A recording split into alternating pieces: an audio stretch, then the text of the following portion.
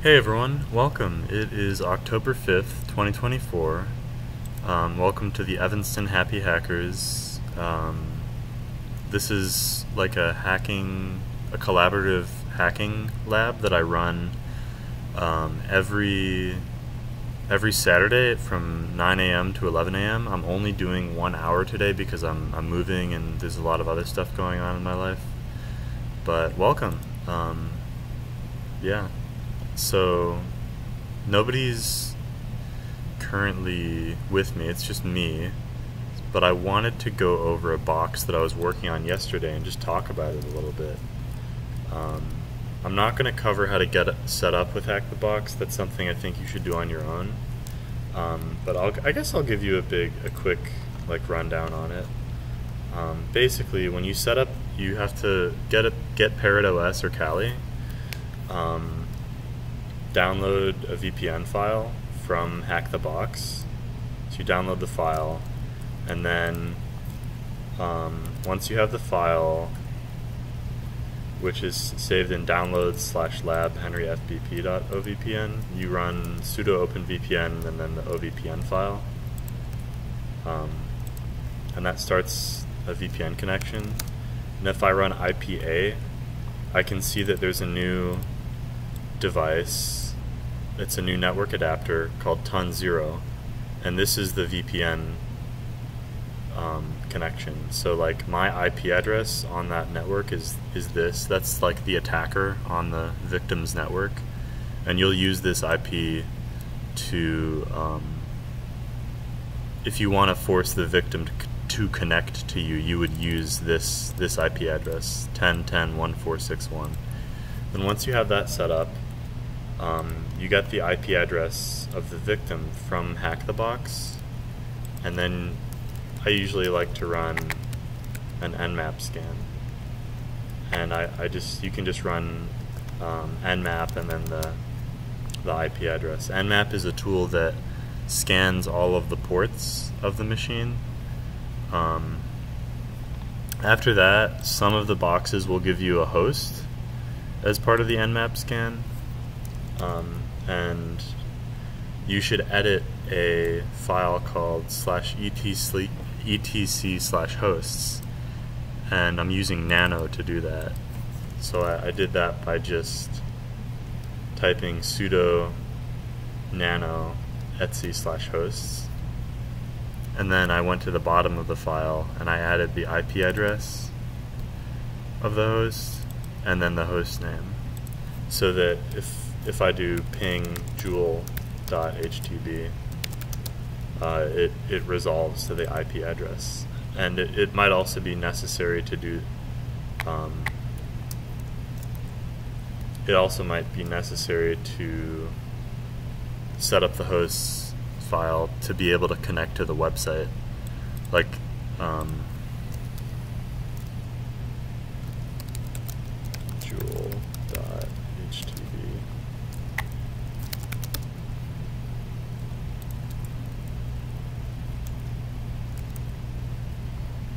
So if um, if I wanted, it looks like this host is running two HTTP servers, one on port 8000 and one on port 8080. So if I wanted to connect to the one on port 8000, I could just go to joule.htb colon 8000. So I'll give you a, I guess, an overview of like what I, what I did um, and I was using a guide to help me out because I got stuck. But I went to port 8000 and I noticed that there was a Git repository. I was also using, I was actually also using ChatGPT to help me, which was pretty cool. Um, it had some interesting, interesting suggestions for me. Um,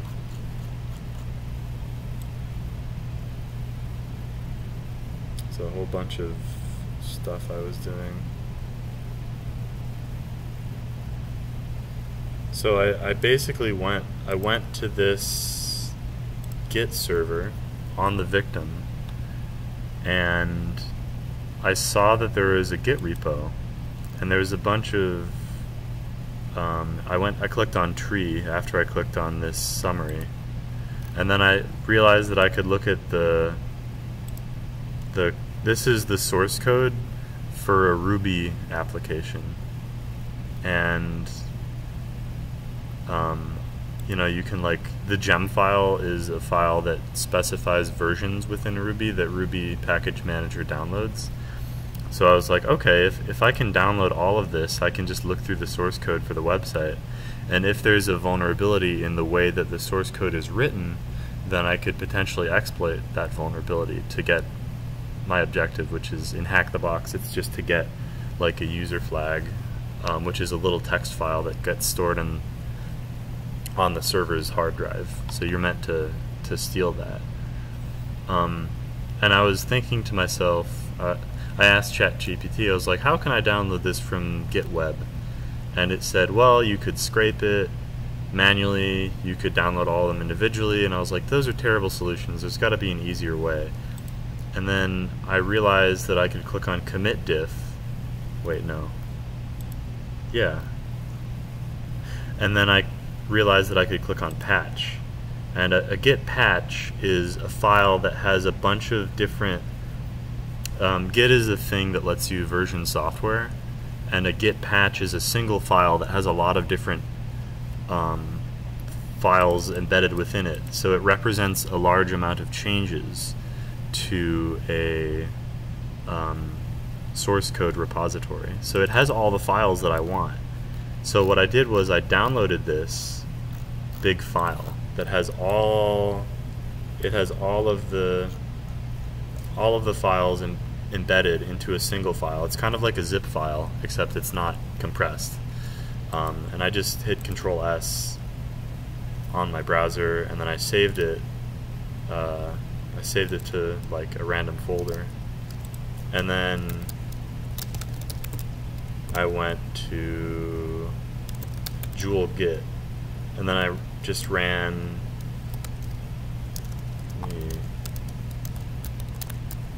virtual get to virtual dot joule get to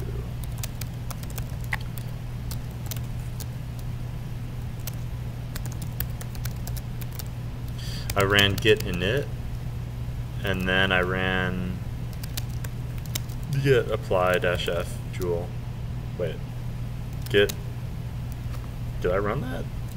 Okay, git how to apply patch. I forget what command I ran.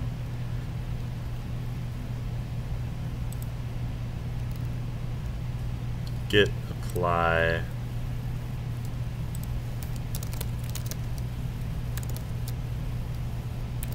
Yeah, I did. I ran git apply and then the name of the patch file. Um, Yeah. And then I had all the source code. Um, so that was pretty cool. So what I did next was I, I went through all of the source code in the app. I went through every single like file and I was just looking at I ignored all the JavaScript because I figured it wasn't so what I did was I, I asked ChatGPT for um, what did I ask it? Hack the box boxes that I could play on that have me writing exploit code, and it recommended Joule, and it said there's a buffer overflow exploit. That's right. That's the. That's what I remember. Um, that's what I did. So I was looking through all the Ruby code. I knew that if it was a if it was a exploit code, if it's running Ruby, JavaScript is server side, so I just ignored all the JS because it didn't it wasn't running on the server. JavaScript runs in the browser. Um, so I just went through every Ruby Ruby file and I was like, where's the vulnerability? Um, I didn't see any serialization or like command execution at all. This was all just like save stuff to the database, basically. Like all these these um, article. Uh, this is a class. I think it's called. There's a thing in programming called object relational mapping where you just have an object and it can like save stuff to the database. So I, this is not this doesn't execute commands. It just saves stuff to like a SQL server. So there's nothing really, I didn't find anything here. And then I kind of got stuck. And I think I looked at the guide for it, and it mentioned that there's actually a vulnerable dependency um, in the gem file that we're meant to write an exploit for. And it said that Rails had a vulnerability. Um, so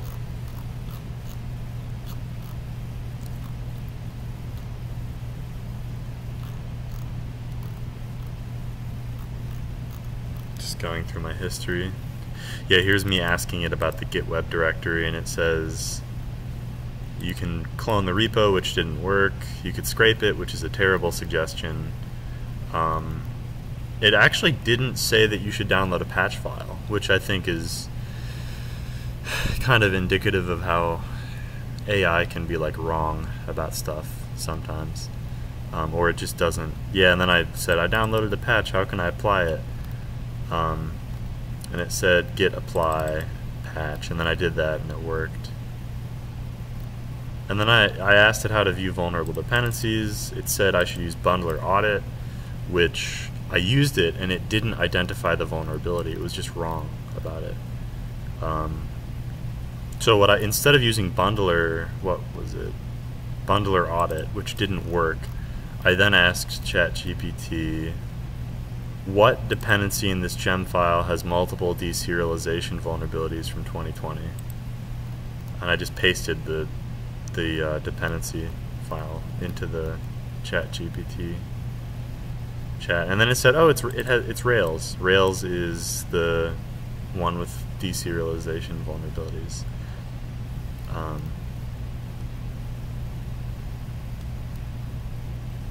and I ended up think I I think uh, which one did I oh yeah and then I also found bcrypt hashes. Um, I found a hash and I wanted to know if it was bcrypt and it said yeah it is. Which the bcrypt hashes were like in an SQL file which I didn't get to cracking them but I might do that later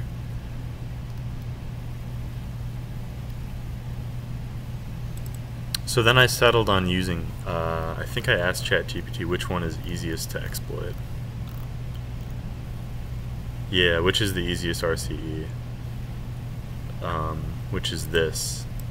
So what I did was I searched the CVE name and then POC on Google, and I just clicked on the first GitHub link, um, and I found some Python code that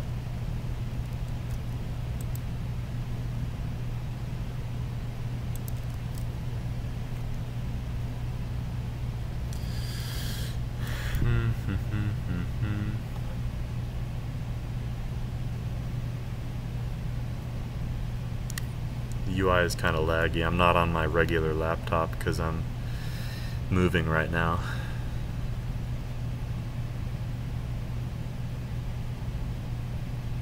please bear with me. I might have to stare at this screen for like 30 seconds or a minute.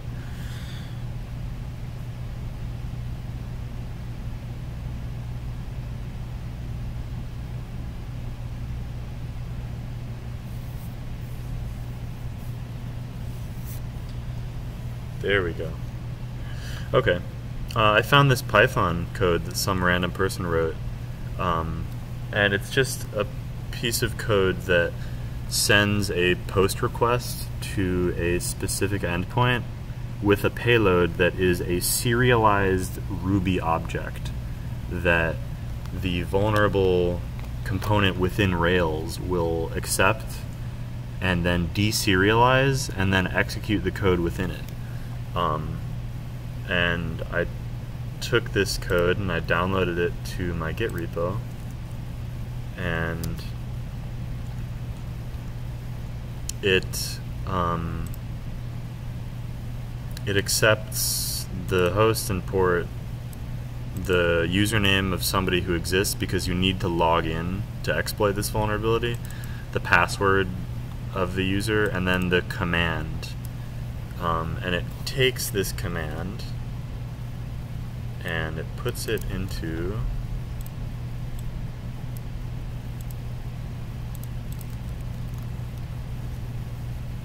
this variable called cmd, and then it puts it into this payload, which looks really ugly.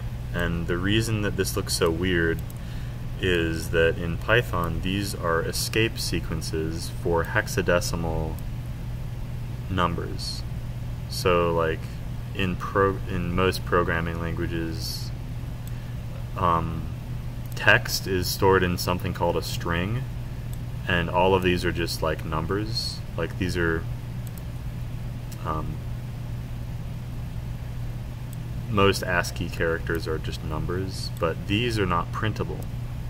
Um, these are probably numbers that mean something special when you are deserializing a Ruby object. So I don't, I don't know. If if you wanted to know more, you could probably ask ChatGPT or like look at the specification for Ruby serialization but I didn't care. I just wanted, I saw code that looked like it worked and I just ran it. Um, the sad part was, I, and I wrote this little shell script to, to make the process a little bit easier, but I, I was able to get this command on line 18 to work. Sorry, not, not that one. I was able to get this command on line 13 to work and this would send this uh, it sends it to I think slash users slash user ID and then the data it's actually funny this is in the uh, the payload is in the username field. So the the username is this big Ruby object that gets deserialized. It's pretty funny. Um, so I was able to get the server to sleep for 10 seconds, which was awesome. The victim could execute, I could cause the victim to execute a sleep command. And I was really excited when that when that worked. Um, I was I was like super I was stoked because um, I was like, oh, I'm basically I'm almost done. I have the, almost have the user flag. Um, and then I, what I did was I wanted to run a reverse shell. And a reverse shell is where you force somebody to connect to your computer. A victim, you make a victim connect to your computer. So I set up a. Um, there's this tool called Netcat, and you can run it with the nc command. Um, and I don't remember what these flags are. I, I think V is verbose, L means listen, and P means port, I think. And the port is 1234. And also, I haven't explained this, but a port is just a number that's like a door that you can send data through on a computer, and they just use numbers to identify which one. So, um, there's like a bunch there's a every computer has like a really large number of ports, so it can send a lot of different types of data. Um, anyway, I, I, I, on the attacker machine, I, I started listening, accepting data on port one two three four, and I was trying to execute this command on line 23 on the victim, which causes them to connect to the attacker and then start accepting data from the attacker. And then the, victim will take the data that the attacker gives them and execute it as code. And the reason this is so useful is I can just type a thing in my terminal and it will execute on the victim so that I don't have to keep changing the things in this quote in these quotes. I can just go back to my reverse shell using Netcat, and I can just start typing ASDF or whatever. I can start typing in here, and whatever I type in here will be sent to the victim, and the victim will execute it. So reverse shells are really useful. Um, they're very, very useful. But I was never able to get this to work, and it made me really sad. I could only get line 13 to work. I could only sleep for 10 seconds. And then I got I had to leave and then I I have a lot of moving to do and stuff. So that's kind of where I got, how far I got. It was really fun and really interesting. Um, I found a guide. I found a guide. This website, 0xdf.gitlab.io, where they, um, I used it to help me out. Um, and they they mention a different proof of concept for this deserialization vulnerability. Uh, they mentioned they made a VM with a specific version of Ruby and they wanted to open the Rails console to dynamically create a serialized payload with a command inside of it. Um, and they so they set up their environment. They run bundle exec Rails console, which puts you into a Ruby REPL. Uh, a REPL is it means read, eval, print, loop, and a REPL is a way to um, execute Ruby code. So if you want to make a variable like what they're doing, you can just do that in Ruby. And he's this person. Uh, they're they're setting up an object and setting attributes on the object so that later they can use this function called marshal.dump, which is the serialization function, to create this ugly big string that has a bunch of like special characters in it that contains the payload and all of the other serialized fields um, that then get deserialized on the victim.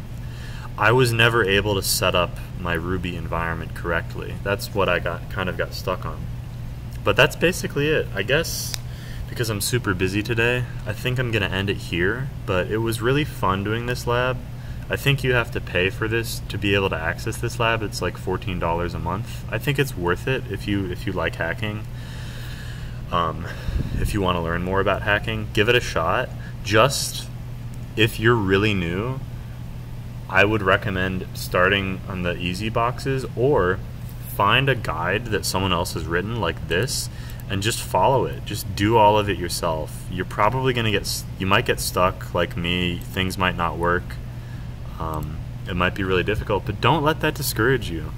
Um, I learned most about, I learned about all of the cybersecurity things that I know just by doing stuff.